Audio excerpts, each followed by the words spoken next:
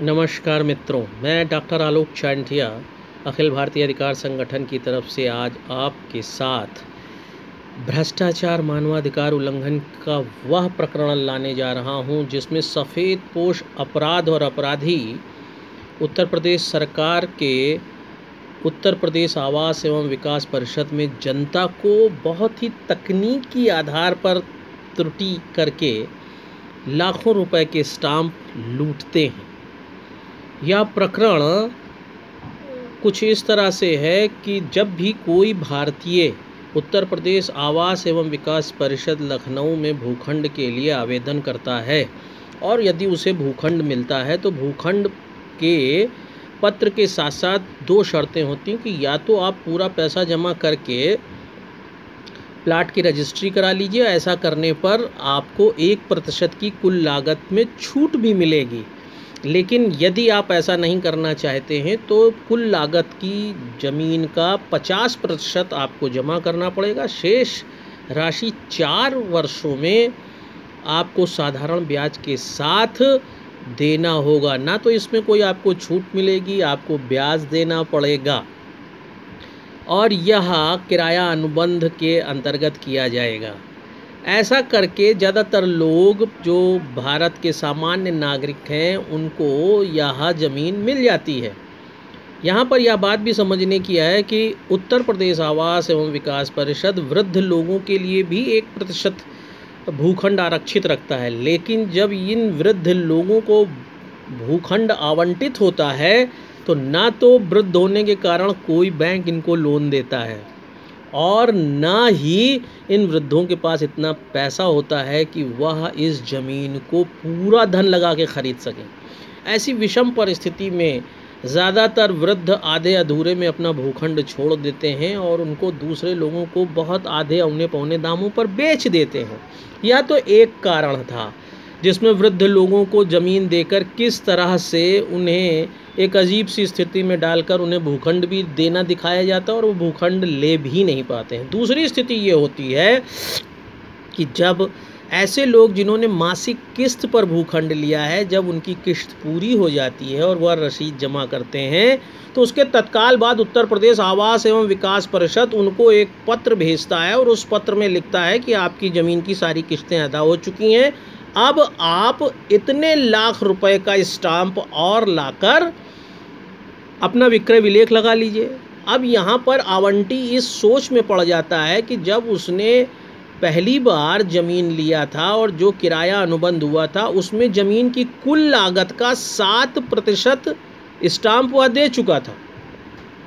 अब दोबारा उसी ज़मीन पर वर्तमान में बाज़ार की लागत से ज़मीन के मूल्य का फिर सात प्रतिशत वह देगा और उसमें से पहले का सात प्रतिशत जो स्टाम्प उसने दिया, वह निकाल दिया जाएगा और शेष स्टाम्प के द्वारा उसे विक्रय विलेख दिया जाएगा। सोचने वाली बात यह है कि जब एक ही व्यक्ति ने आपको कुल ज़मीन की लागत का एक बार सात प्रतिशत स्टाम्प दे दिया तो उत्तर प्रदेश आवास विकास परिषद अधिनियम 1965 में तो ऐसा कहीं लिखा नहीं कि एक ही ज़मीन, एक ही आवंटी को दो दो बार स्टाम्प देना पड़ेगा। वह भी सात प्रतिशत के स्टाम्प पे उसे किराया अनुबंध लिखा जाएगा। ज़्यादातर लोग एग्रीमेंट सौ रुपया, दो सौ रुपया, हज़ार रुपये पे लिखते हैं। इस कानून को कभी भी प्रतिशत परिषद नहीं दिखा पाता है। आज मैं जो आपसे कहने जा रहा हूँ, वो बहुत महत्वपूर्ण है और सफ़ेद पोष अपराध है। उत्तर प्रदेश आवास एवं विकास परिषद का, जिससे वो सरकार को धोखा देते हैं और बाद में कहते हैं कि स्टाम्प कोई उन्हें थोड़ी ना मिलता है, ये तो सरकार को मिलता है।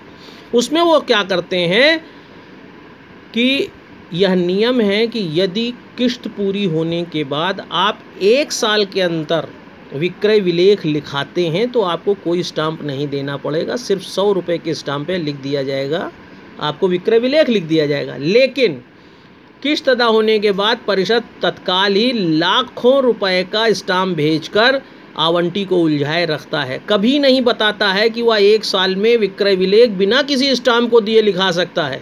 और जब एक साल निकल जाता है, तब वह कहता है कि आपको तो देना होगा, ना हो आप डीएम के यहाँ से पता कर लीजिए सर्किल रेट, ना हो तो आप निबंधक के यहाँ पता कर लीजिए।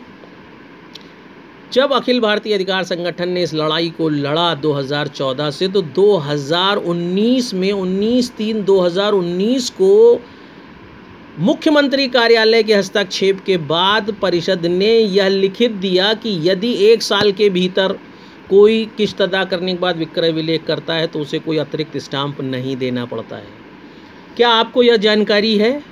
यदि नहीं है तो आप सोचिए कि किश्तों पर लेने वाले कितने आवंटियों से हर बार लाखों रुपए के स्टाम्प का चूना लगाया जाता है। और चूँकि भारत का नागरिक इस कानून को जानता नहीं, नियम को जानता नहीं, इसलिए अरबों रुपए के स्टाम्प का घोटाला यह अधिकारी अपने पद और कर्तव्य के इतर करते हैं और नागरिकों को नुकसान पहुंचाते हैं। जब एक बार एक भूखंड पे सात प्रतिशत कुल ज़मीन की लागत का स्टाम्प दे दिया गया और उसके आधार पर आपको ज़मीन भी स्थानांतरित कर दी गई। मज़ेदार बात यह है कि परिषद के नियमों में ही लिखा है कि आपको ज़मीन भी तभी स्थानांतरित की जाएगी जब शासन द्वारा निहित और निर्धारित स्टाम्प आप अदा कर देंगे। तो आपने ज़मीन भी तभी स्थगित किया ना, जब स्टाम्प पूरा दे दिया गया। उसके बाद विक्रय विलेख के नाम पर लाखों रुपए के स्टाम्प मांग कर सफ़ेद पोष अपराध को बढ़ावा देना बिल्कुल सही नहीं है। यह वीडियो मैंने सिर्फ़ इसलिए बनाया है कि जो लोग भी आवास विकास परिषद से भूखंड ले रहे हैं, वह एक साल के भीतर अपना विक्रय विलेख लिखाएँ ताकि उन्हें कोई भी अतिरिक्त स्टाम्प ना देना पड़े। किल सौ रुपये के स्टाम्प उन्हें विक्रय विलेख लिखा जाएगा।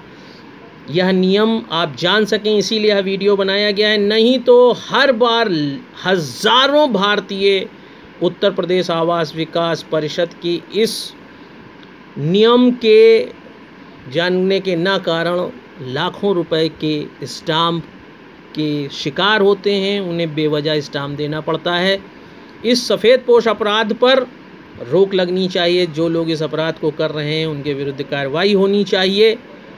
मामला सरकार के संज्ञान में है, लेकिन आपको भी यह जानना चाहिए कि एक वर्ष के भीतर आपको विक्रय विलेख कराना है बिना किसी अतिरिक्त स्टाम्प के। यदि आपने किराया अनुबंध में भूखंड लिया है, आवास विकास परिषद उत्तर प्रदेश से, यदि आपको यह वीडियो समझ में आता है तो इसे आगे तक बढ़ाएँ ताकि लोग ज़्यादा से ज़्यादा इस जानकारी को प्राप्त कर सकें, जो अखिल भारतीय अधिकार संगठन का मुख्य उद्देश्य है। जय हिंद, जय भारत।